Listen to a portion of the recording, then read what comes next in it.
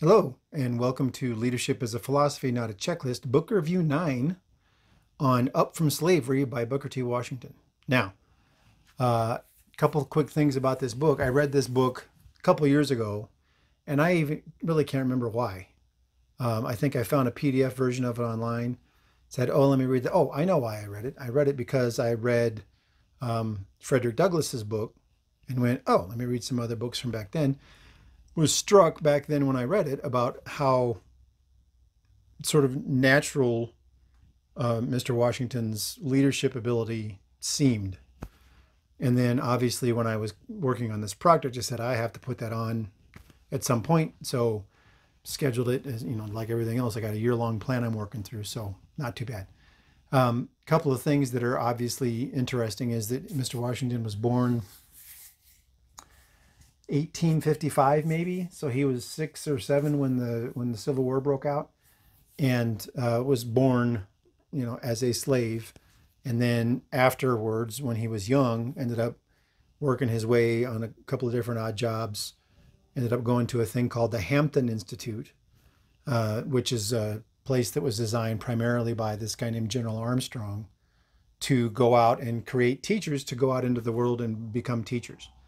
Um, whatever his behavior or activities were struck a chord with General Armstrong, and he said, "Hey, I'd like you to go start uh, uh, an institute in Alabama, the Tuskegee Institute."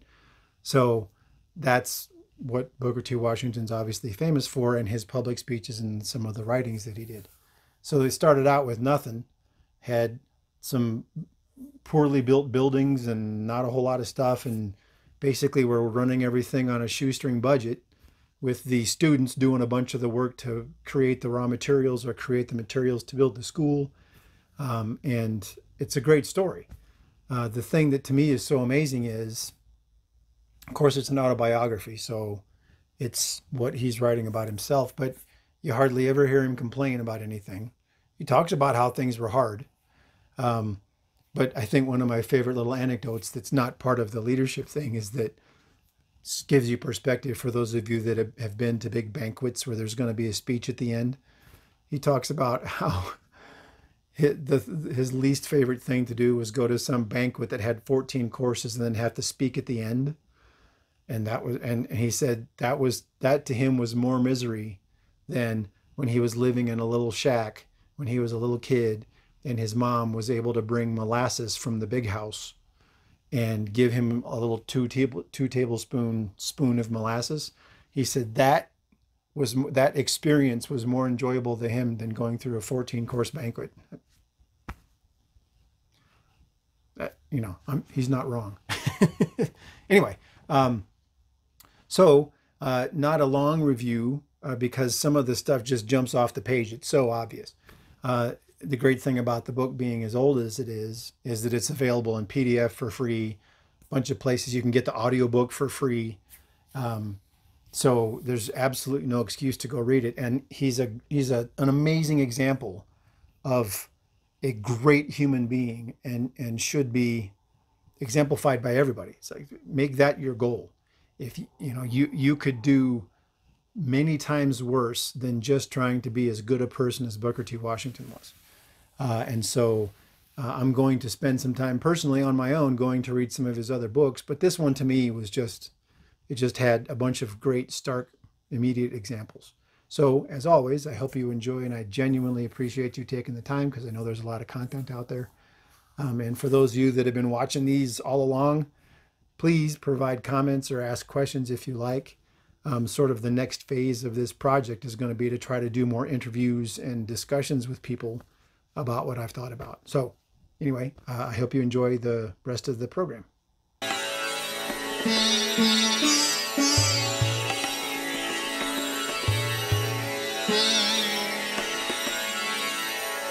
Okay, so here we are getting ready to get into this book review. As I talked about during during the introduction, I read this book a couple years ago and thought, man, what a great leadership idea. So I reread it last summer uh, and then put it on the plan. So there are a couple other writings by Booker T. Washington, and maybe we'll do those, but I think that they're going to be essentially, they're going to reveal the exact same thing. So, uh, first thing, points of interest from the book. Um, as we always like to do, or as I always like to do, let's talk about what makes the book interesting than just leadership. So, the quote that I just loved, because if you remember, we talk about the way that you make yourself the best at something is through competence, right? If you're the best at something and and you're in a functioning organization, then you should move up or you should get recognized for being the best. So he said if you do a common thing in an uncommon way, no one will care who did it, just that it's the best. Um, he talks about that because he was trying to obviously with the Tuskegee Institute. If you haven't read the book, Booker T. Washington found the Tuskegee Institute, as we talked about. So, um, his idea was that the, the students needed to have a trade that they could go out at, and if they worked to be the best at it, they were going to be successful because people want the best product. Nobody's going to say, "Oh, this is the most amazing thing ever," but it's made by fill in the blank, so I'm not going to use it. Nobody does that, right? Um, another interesting thing about the Tuskegee Institute was that students were required to do manual labor.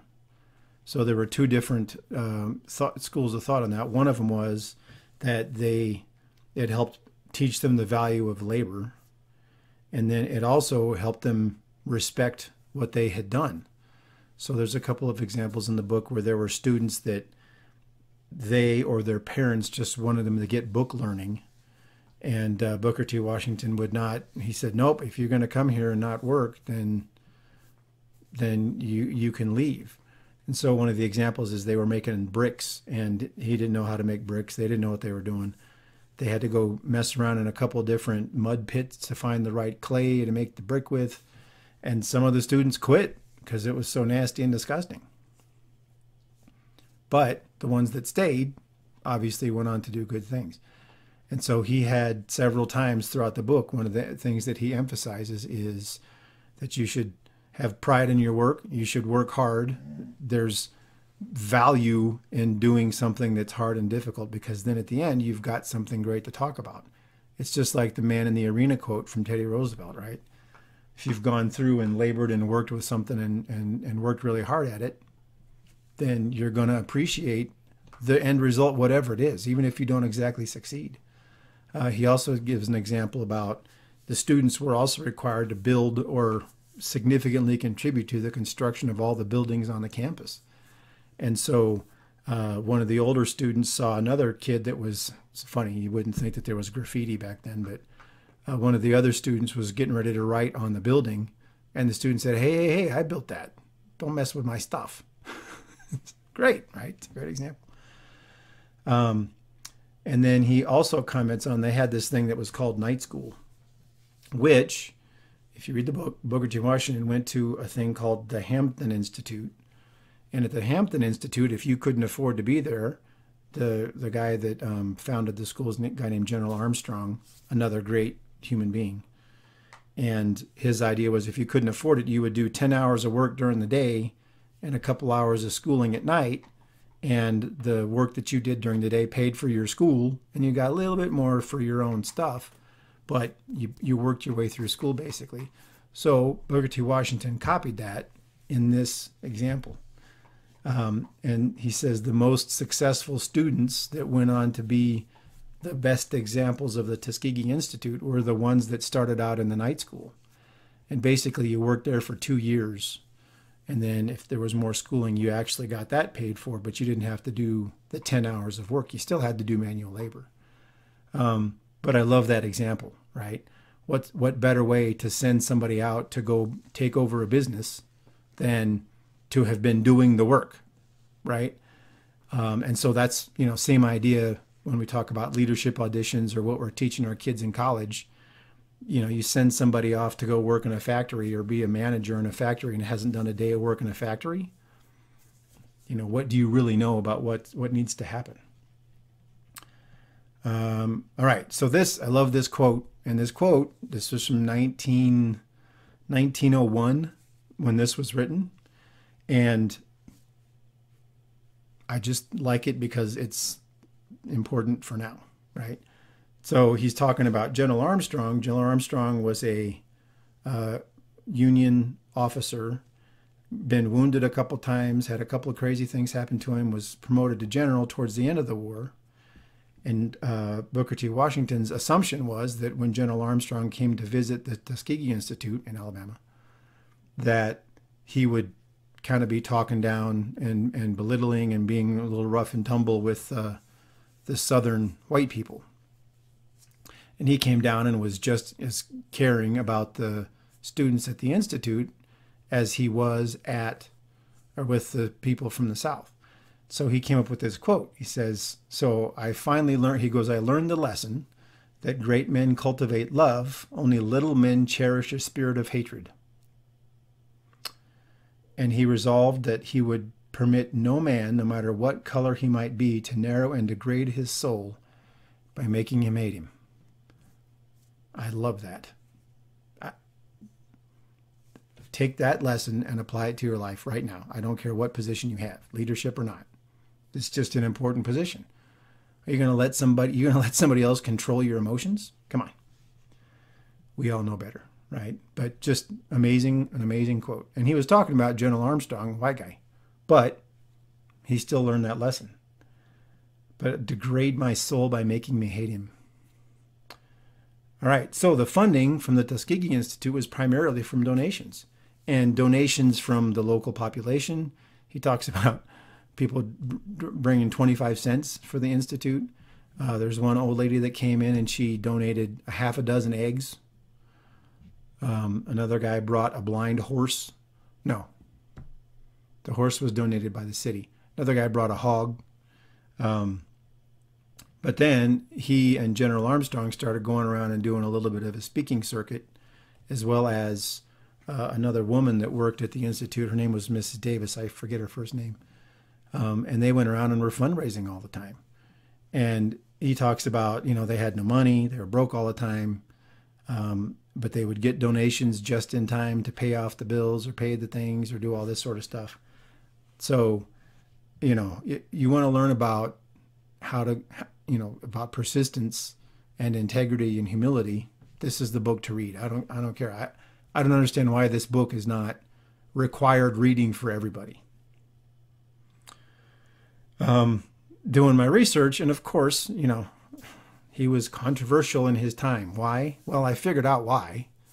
I went and did a little bit of research and started doing some snooping and pooping. Found out that he was controversial because he emphasized that if blacks worked their hardest and were the best and and and were at the you know top of the competence hierarchy that would do more to change people's minds than weird programs or lowering expectations. So his whole emphasis was if you work hard and have good character you're going to be a good person no matter what. Well there's a whole bunch of people back then that wanted free stuff from the government and a bunch of other things. You can go do your own research on that. But I, I just love the fact that it's just, you know 120 years ago and now you you hold somebody to some high standards and tell them to work hard and people lose their minds. So anyway there's that.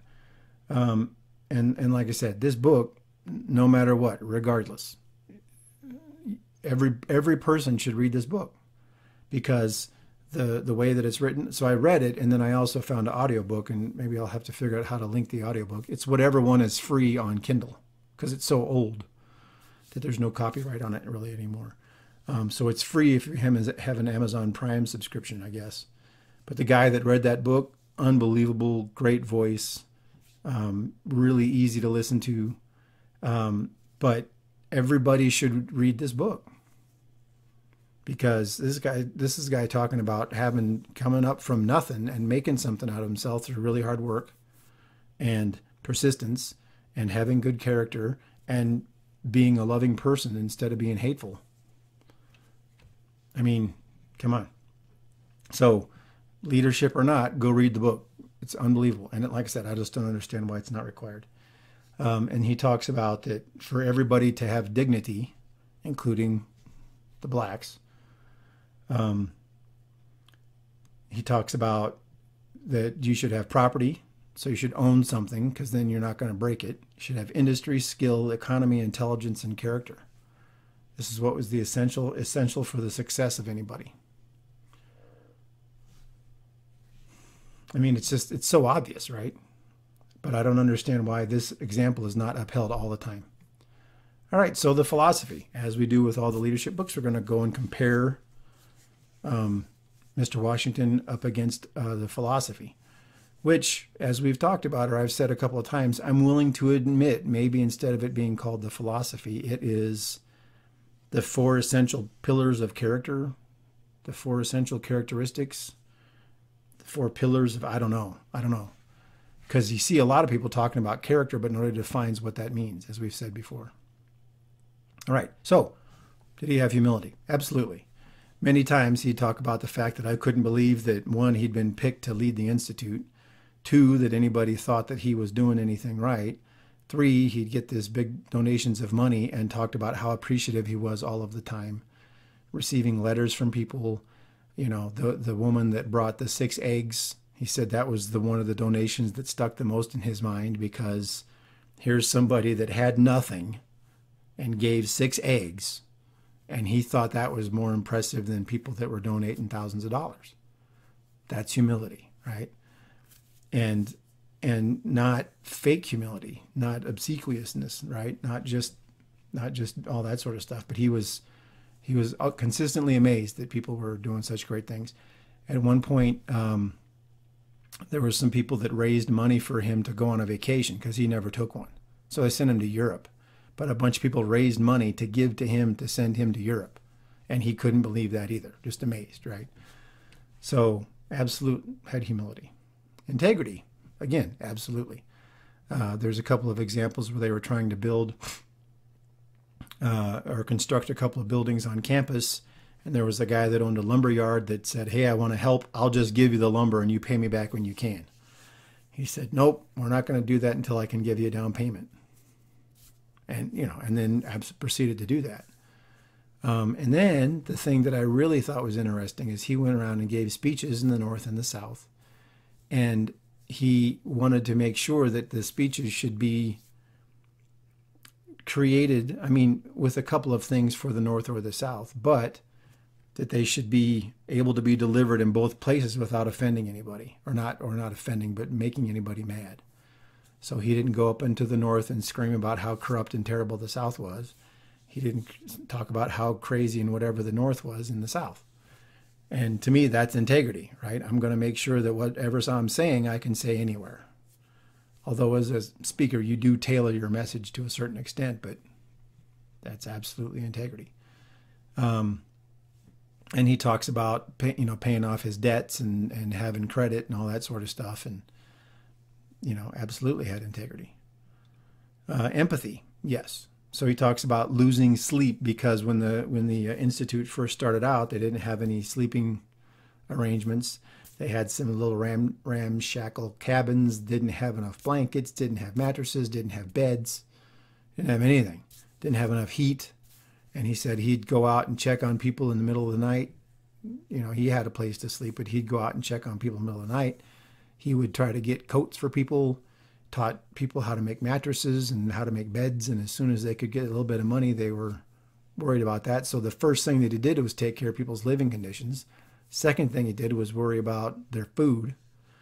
Um, and he you know talks about worrying about the fact that the food was bad and the food service was bad and all that sort of stuff and talks about losing sleep over the fact that the students were having to suffer right how amazing is that, right? He, he's the big boss and he's worried about his people.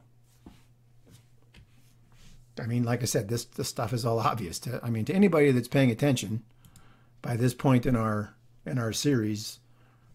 Take care of your people, take care of the environment. Vigilance. Now I love this one, right? So he set high standards, right? Um, talked about the the health and cleanliness of the student was of utmost importance made sure that he expressed the importance of having all the buttons on their clothes, making sure that their shoes were clean, uh, and made sure they have a toothbrush.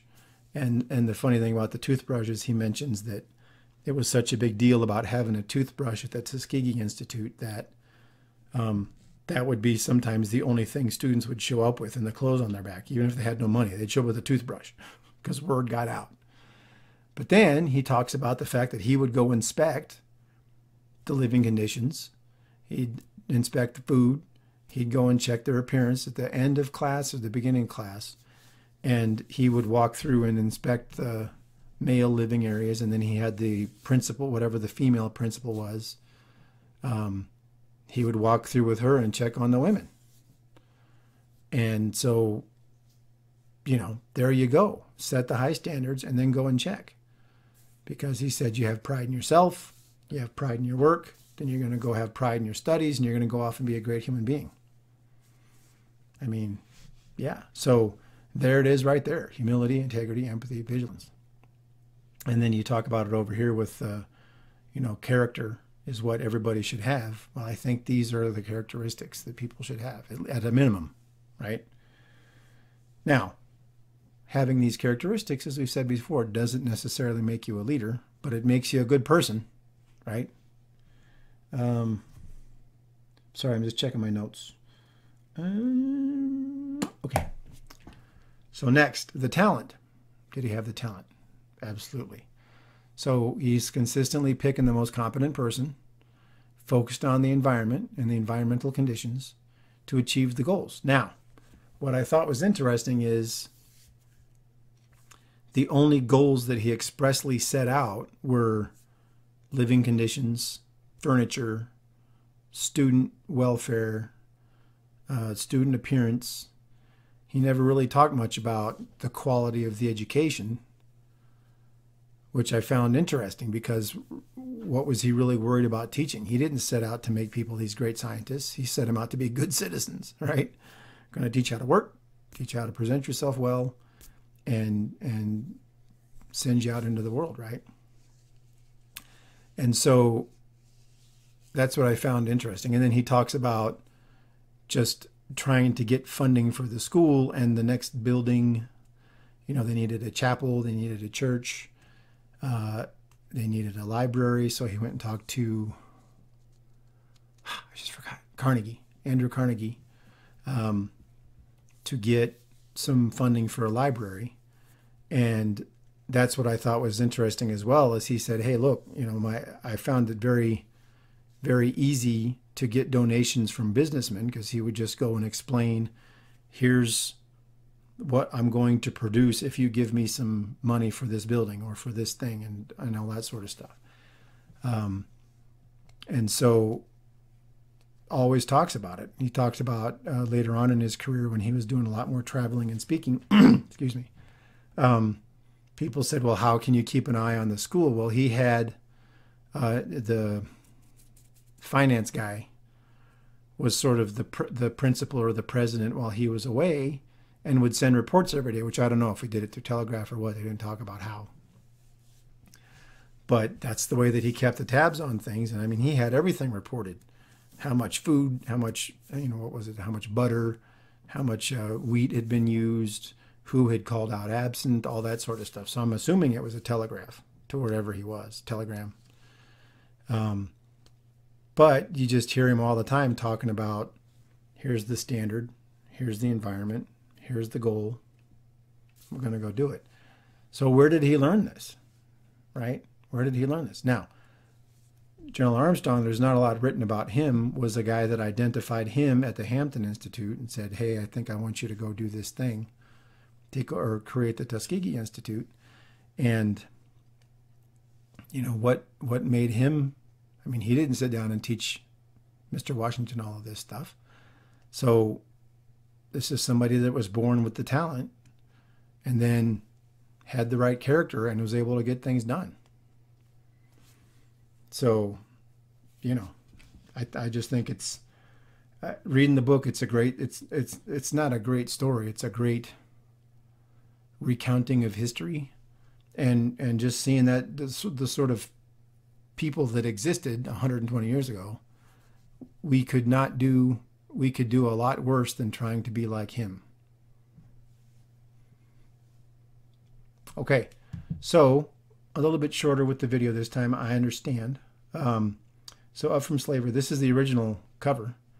And a little bit of history just to make everybody understand. It was published in this newspaper periodical, whatever you want to call it. He did a chapter at a time in this book. I mean, in this uh, in this publication, and then once it was done, they put it together and published it. So obviously, you can get it from anybody. I mean, it's free online in PDF form. Um, I know, like I said, that the Amazon Kindle, if you've got the Amazon Prime membership or whatever, it's included. You can just get it for free and listen to it. Um, so there's no excuse to not read this book. Um, and and the sort of example that was set. And and so, you know, go out and do it. And uh, that's really all that I had for the for the for the thing. It's just so. It's so reflexively, not reflexively. It's so inherently visible or readily apparent when you're reading the book that this was somebody that was a leader, right? It, his his interest in himself was very low, and his interest in everybody else around him was very high, and they all together created this amazing thing. I mean, the institute and everything else around it was built by the students, with donations from people, but it was with materials made by the students. So he taught all these people how to make this. So the Tuskegee Institute, which maybe at some point I'll be able to go visit, that might be fun. I have to figure out how to do that um, go do like a video tour because I'm sure they've got some historical library to Mr. Washington there. Um, so a couple other books. There's two more books that were written by him that I have not read that I want to. One of them is a, a collection of papers about character. So it's some speeches that he gave to the students at the institute about building character. And then another one is my continuing or my later education um, and that's where he has a couple of quotes that are famous now about uh, different perspectives on things. I'll just leave that alone. Um, so, yeah, uh, like I said, hope you enjoyed this. But once again, this is somebody from 120 years ago, did not go to any of our modern schools, didn't go to any of our modern stuff. And this is what you got. Amazing, amazing results, right? Anyway, Thanks so much for your time, and I just hope you have a great day.